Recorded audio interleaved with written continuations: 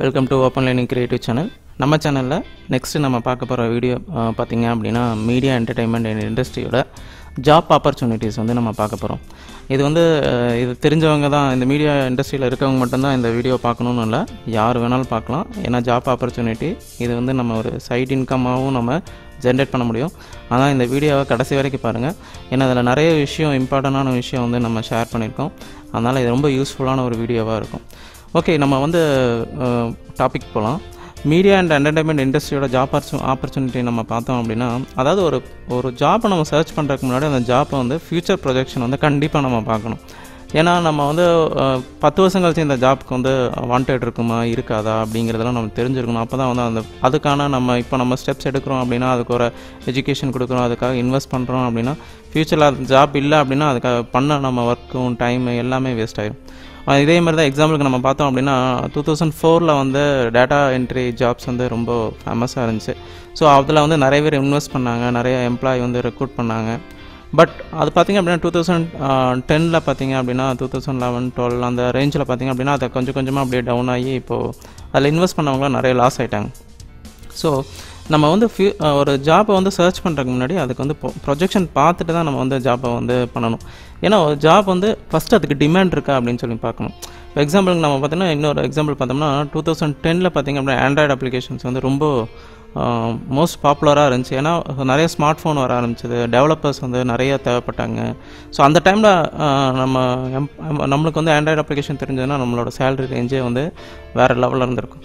So நம்ம demand இருக்கக்கூடிய ஜாப்ஸை வந்து நம்ம சர்ச் பண்ணும்போது அதுக்கான ட்ரைனிங்கு அதுக்கான ஸ்டெப்ஸ்லாம் நம்ம எடுக்கும்போது கண்டிப்பாக நம்மளை வந்து ஃப்யூச்சரில் நம்ம வேறு லெவலில் இருப்போம். ஸோ அதை பற்றி ஒரு ப்ரொஜெக்ஷன் தான் இது. ஸோ மீடியா என்டர்டைன்மெண்ட் இண்டஸ்ட்ரி வந்து நீங்கள் கண்டிப்பாக நீங்கள் டிசைட் பண்ணியிருந்தீங்க. இல்லை நான் வேறு ஒன்று பண்ணிகிட்ருக்கேன் இதை வந்து நான் பண்ணலாமா அப்படின்னாலும் இந்த வீடியோ கண்டிப்பாக யூஸ்ஃபுல்லாக இருக்கும். பாருங்கள் ஓகே டிமாண்ட் மீடியா இண்டஸ்ட்ரியோட டிமாண்ட் எப்படி இருக்கும் அப்படின்னா இப்போ பார்த்தீங்க அப்படின்னா டூ தௌசண்ட் லெவனில் ஆல் ஓவர் இந்தியா இந்தியாவில் மட்டும் நான் இதை அந்த டேட்டா வந்து எடுத்திருக்கேன். இது வந்து ஒரு வெப்சைட்லேருந்து எடுத்திருக்கேன். இதோட லிங்க் வந்து உங்களோட டிஸ்கிரிப்ஷன் பாக்ஸில் கொடுத்துருக்கேன். நீங்கள் ஜஸ்ட் ஓப்பன் பண்ணி பார்த்துக்கலாம். டூ தௌசண்ட் லெவனில் பார்த்தீங்கன்னா India and media entertainment industry இந்தியாவில் ரிஜிஸ்டர்ட் கம்பெனி டுவெல் பர்சன்டேஜ் வந்து டூ தௌசண்ட் டென் வரைக்கும் இருந்துச்சு. அதாவது seven hundred and twenty eight billion companies வந்து ரிஜிஸ்டர் பண்ணியிருந்தாங்க. இந்தியாவில் மட்டும். அதே வந்து டூ தௌசண்ட் சிக்ஸ்டீனில் பார்த்தீங்க அப்படின்னா ஃபிஃப்டீன் பர்சன்டேஜாக இம்ப்ரூவ் ஆயிடுச்சு. அதாவது thousand four hundred and fifty seven billion companies வந்து ரிஜிஸ்டர் பண்ணியிருக்காங்க அப்போ எம்ப்ளாய்மெண்ட் எந்த லெவலில் இருக்குன்னு யோசிச்சு பாருங்கள் ஸோ ஒரு கம்பெனிக்கு ஒரு ஹண்ட்ரட் இல்லைனா தௌசண்ட் எம்ப்ளாய்மெண்ட் இருக்குது அப்படின்னா இவ்வளோ பில்லியன் ஆஃப் கம்பெனிக்கு எவ்வளோ நம்பர் ஆஃப் எம்ப்ளாய்மெண்ட் இருக்கும் அப்படிங்கிறத நீங்களே வந்து அஷ்யூம் பண்ணிக்கலாம். ஸோ எம்ப்ளாய்மெண்ட் வந்து இந்த இண்டஸ்ட்ரியில் ரொம்ப அதிகமாக இருக்குங்கிறது நல்லாவே தெரியுது. அப்போது ஓகே இந்த இண்டஸ்ட்ரியில் இப்போ இருக்குது இது வந்து ஃப்யூச்சரில் இருக்குமா? அப்படின்னா ஒரு நான் ஒரு ஃப்யூச்சர் ப்ரொஜெக்ஷனுக்கு வந்து நான் சில வெப்சைட்ஸ்லாம் இருக்குது இதை நீங்கள் கூகுள்லேயே சர்ச் பண்ணி பார்க்கலாம். நான் சிலதை ஓப்பன் பண்ணி காமிக்கிறேன். பாருங்கள் ஓகே நான் இந்த வெப்சைட்லேருந்து தான் இந்த க்ரோத் வந்து நான் எடுத்திருக்கேன். இங்கே பாருங்கள் இது வந்து இப்போ இருக்கக்கூடிய டேட்டா சரிங்களா? ஸோ டூ தௌசண்ட் சிக்ஸ்டீன் வரைக்கும் இருக்கக்கூடிய டேட்டா இது பார்த்திங்கன்னா ஒவ்வொரு வருஷமும் அது இம்ப்ரூவ் ஆகிட்டே தான் போகுது. ஓகே ரைட் இதே வந்து இன்னொரு டேட்டா பாருங்கள் யூஎஸோட animation market three D animation மார்க்கெட்னு சொல்லி கொடுத்துருக்காங்க.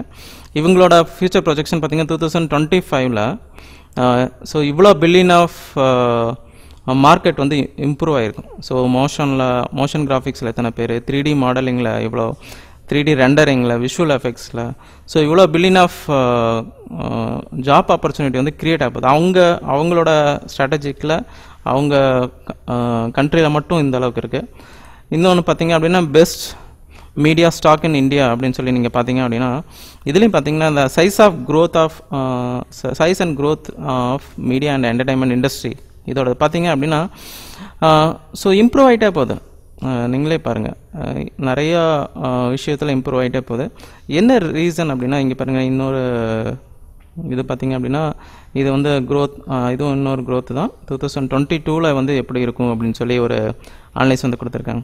ஸோ இதுக்கெல்லாம் என்ன ரீசன் அப்படின்னா நம்ம இப்போ இருக்கக்கூடிய கரண்ட் சுச்சுவேஷனில் சில முக்கியமான விஷயங்கள் வந்து நம்மளுக்கு கண்டிப்பாக இப்போ தேவைப்படுது.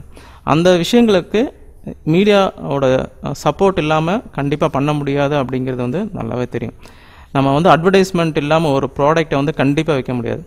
அதாவது ஒரு பேனா விற்கணும்னா கூட அட்வர்டைஸ்மெண்ட் எல்லாம் விற்க முடியாது. ஒரு சாக்லேட் விற்கணும்னாலும் அட்வர்டைஸ்மெண்ட் எல்லாம் விற்க முடியாது. ஆனால் அந்த அட்வர்டைஸ்மெண்ட் பண்ணுறதுக்கு அந்த பெண்ணை டிஸ்ப்ளே பண்ணணுன்னாலும் சரி அந்த அந்த சாக்லேட்டை டிஸ்ப்ளே பண்ணணுன்னாலும் சரி நம்ம வந்து கண்டிப்பாக வந்து ஒரு மீடியா பர்சனோட சப்போர்ட் இல்லாமல் அதை வந்து அட்வர்டைஸ்மெண்ட் வந்து க்ரியேட் பண்ண முடியாது.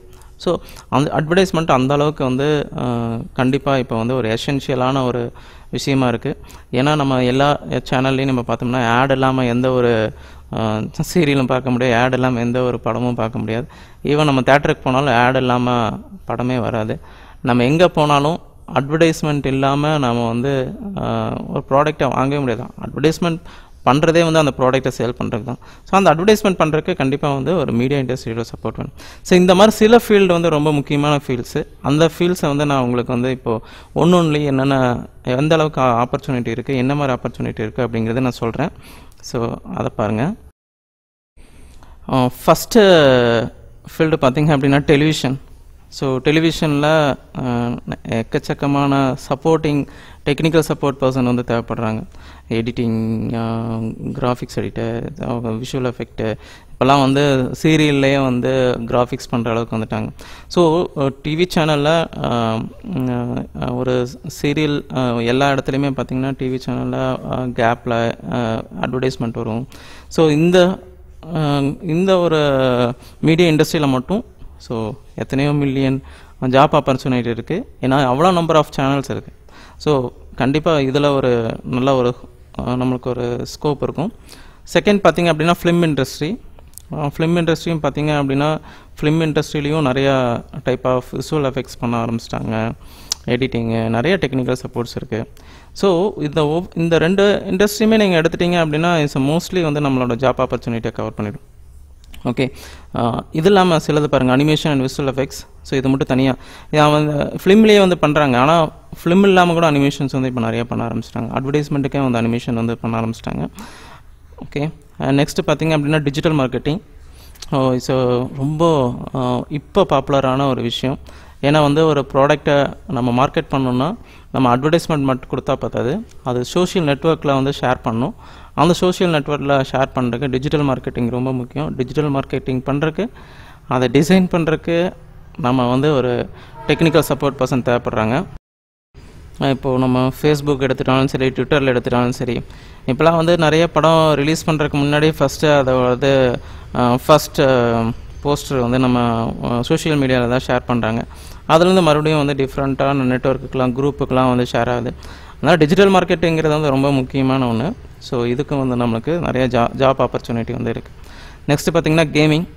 இப்போ வந்து கேமிங் வந்து மொபைல் ஆப்லேயும் சரி பிசி கேம்ஸும் சரி நிறையா கேமர்ஸ் வந்து விளையாடுறவங்க வந்து நிறையா இருக்காங்க. ஸோ இதுக்கு காரணம் என்னென்னா அந்த அளவுக்கு கேம்ஸ் வந்து நல்லா அட்ராக்டிவாக இருக்குது இந்த கேம் டெவலப் பண்ணுறதுக்கு பேசிய பேசிக் ஐடியா வந்து கண்டிப்பாக வந்து ஒரு த்ரீ டி அப்ளிகேஷன் ப்ளஸ் அது கூட சில கேமிங் அப்ளிகேஷன்ஸ் வந்து சப்போர்ட்டில் மட்டும்தான் பண்ண முடியும். அது வந்து ஒரு நம்ம மாதிரி ஒரு மீடியா இண்டஸ்ட்ரி பர்சனால தான் அதை கொடுக்க முடியும்.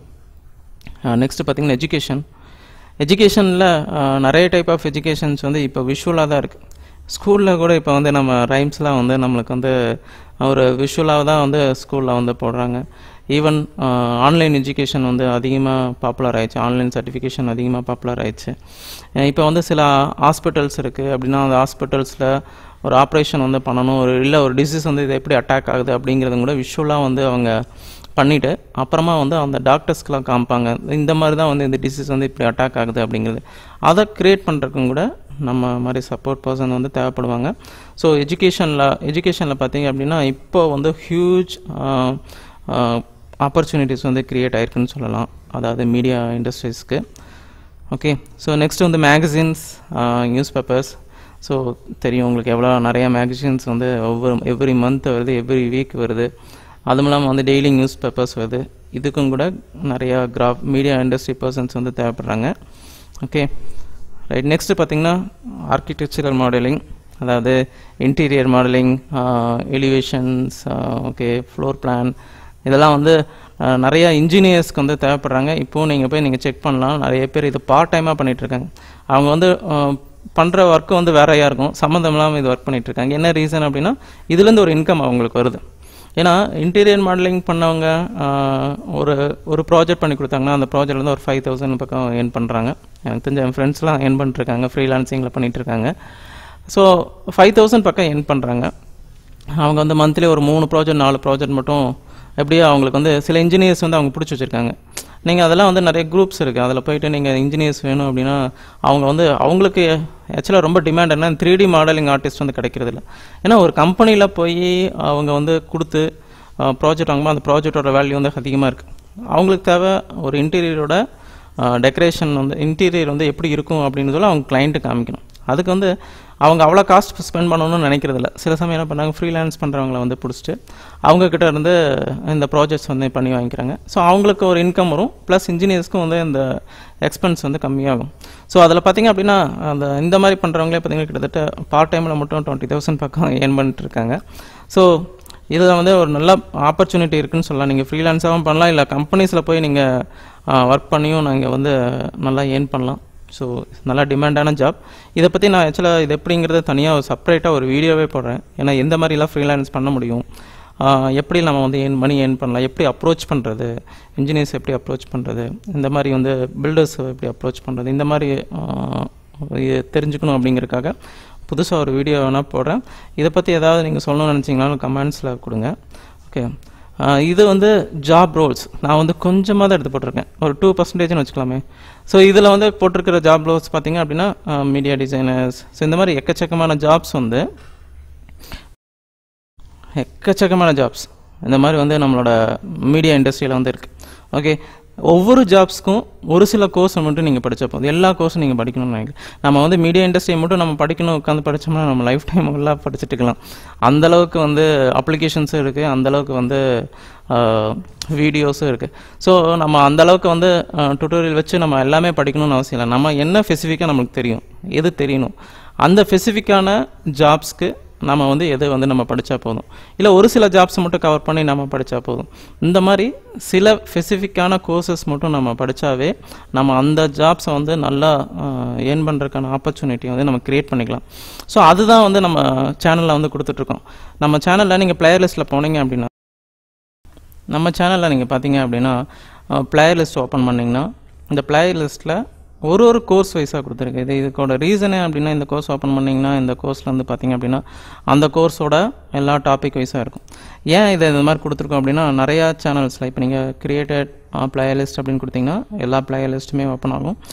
இது ஏன் கிட்டத்தட்ட ஒரு த்ரீ ஹண்ட்ரட்க்கு மேலே வந்து த்ரீ ஃபிஃப்டிக்கு மேலே வந்து வீடியோஸ் வந்து போஸ்ட் பண்ணியிருக்கோம் ஏன் வந்து இந்த மாதிரி நாங்கள் பண்ணியிருக்கோம் அப்படின்னா நாங்கள் ஆக்சுவலாக வந்து டென் இயர்ஸ்க்கு முன்னாடி வந்து படிக்கும்போது என்னென்ன ப்ராப்ளம்லாம் ஃபேஸ் பண்ணமோ நாம் வந்து ஆன்லைனில் நான் வந்து ஏர்ன் பண் அதாவது படிக்கணும்னு நினைக்கும்போது இங்கே சில சேனல் நிறைய வெப்சைட்டில் பார்த்தீங்கன்னா மணி பே பண்ண சொல்லுவாங்க.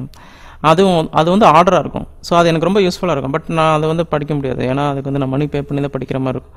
பட் நான் யூடியூப்பில் நான் படிக்கலாம் அப்படின்னு நினச்சா நான் யூடியூப்பில் வந்து ஒரு ஆர்டராக இருக்காது. ஒரு சாப்டர் எடுத்திருப்பாங்க. அடுத்த சாப்டருக்கான கண்டினியூஷன் அவங்களே எடுத்திருக்க மாட்டாங்க. வேறு யாராவது எடுத்திருப்பாங்க. ஸோ அவருக்கும் இவர் எடுத்ததுக்கும் வந்து ஒரு கரெக்டாக மேட்ச் ஆகாது. சிலதெல்லாம் வந்து மாடல் பண்ணியிருப்பாங்க அது திடீர்னு பாதியிலே ஸ்டாப் பண்ணியிருப்பாங்க அது எப்படி நம்ம ஃபினிஷ் பண்ணுறது அப்படின்னு சொல்லி தெரியாது. இந்த மாதிரி விஷயம்லாம் வந்து நான் ஃபேஸ் பண்ணேன். ஸோ அதனால் வந்து இதை வந்து நம்ம கரெக்டாக கொடுக்கணும் அப்படிங்கிறக்காக தான் அது இதில் வந்து க்ரியேட் பண்ணி பண்ணிகிட்ருக்கோம் ஸோ இது கண்டிப்பாக உங்களுக்கு யூஸ்ஃபுல்லான விஷயமா இருக்கும்னு நான் நினைக்கிறேன். இது மட்டும் இல்லாமல் நம்ம ஃபேஸ்புக்கில் வ வரப்போகிற அப்டேட்ஸ்லாம் வந்து அப்பப்போ கொடுத்துட்ருப்போம். அதனால் வந்து நம்ம ஃபேஸ்புக் பேஜை வந்து லைக் பண்ணுங்கள் FB dot com open learning டியூட்டோரியல்னு கொடுத்தீங்கன்னா நம்மளோட ஃபேஸ்புக் பேஜ் வரும். அந்த பேஜில் வந்து லைக் பண்ணுங்கள் இன்னொரு ரொம்ப முக்கியமான ஒரு விஷயம் பிளாக் ஸ்பாட்டில் நம்ம வந்து சோர்ஸ் கோட் ஃபைல் அதாவது ஒரு நமக்கு சப்ஸ்கிரைபர் ஒருத்தர் கேட்டிருந்தார். எங்களுக்கு இந்த சோர்ஸ் கோட் ஃபைல் வந்து ஷேர் பண்ணிங்கன்னா நாங்கள் கொஞ்சம் ட்ரெயின் பண்ணுறதுக்கு ட்ரெயின் ஆகிறதுக்கு ரொம்ப யூஸ்ஃபுல்லாக இருக்கும் அப்படின்னு சொல்லி ஷேர் பண்ணியிருந்தாரு. அதனால் நாங்கள் என்ன பண்ணலான்னு இருக்கோன்னா பிளாகரில் இதுக்கான சோர்ஸ் கோட் ஃபைல்ஸ் எல்லாத்தையும் வந்து அப்லோட் பண்ணலான்ருக்கோம் நாங்கள் என்ன கிளாஸ் ஆகும்போது என்ன ஸோ ஃபைலை வந்து சேவ் பண்ணுறோமோ அந்த ஃபைல் அப்படியே வந்து பிளாகரில் போடலான்ருக்கோம் அந்த ஃபைல்ஸை நீங்கள் டவுன்லோட் பண்ணிட்டு நீங்கள் ப்ராக்டிஸ் பண்ணிக்கலாம். இல்லை நீங்கள் வேணால் உங்கள் ப்ராஜெக்ட்ஸ் வந்து தாராளமாக யூஸ் பண்ணிக்கலாம். ஓகே ஸோ இதுதான் வந்து பிளாகரோட பர்பஸ் அதனால் வந்து பிளாகரில் விசிட் பண்ணுங்கள் பிளாகர்லேயும் நாங்களோட டுட்டோரியல்ஸ் வந்து கண்டினியூஸாக போட்டுட்ருக்கோம். கண்டிப்பாக யூஸ்ஃபுல்லாக இருக்குன்னு நினைக்கிறேன். இதோட இதில் ஜாப் ரிலேட்டடாக இன்னும் சில விஷயங்களை வந்து நான் உங்களுக்கு ஒரு தனித்தனியாக ஒரு ஒரு ரோல் வைஸாக எப்படி வந்து என்னென்ன கோர்ஸ் படிக்கணும் அதுக்கு என்ன ஜாப் வந்து நம்மளுக்கு கிடைக்கும் அப்படிங்கிறத பின்னாடி வரப்போகிற வீடியோவில் நான் கண்டிப்பாக போடுறேன். ஸோ இந்த வீடியோ உங்களுக்கு கண்டிப்பாக யூஸ்ஃபுல்லாக இருந்திருக்கும். இதை கண்டிப்பாக மறக்காமல் உங்கள் ஃப்ரெண்ட்ஸ்க்கு வந்து ஷேர் பண்ணுங்கள் அவங்களும் பெனிஃபிட் ஆவாங்க. ஸோ இதே மாதிரி இன்னொரு வீடியோவில் மீட் பண்ணுறேன் அன்டில் தன் பாய் தேங்க்யூ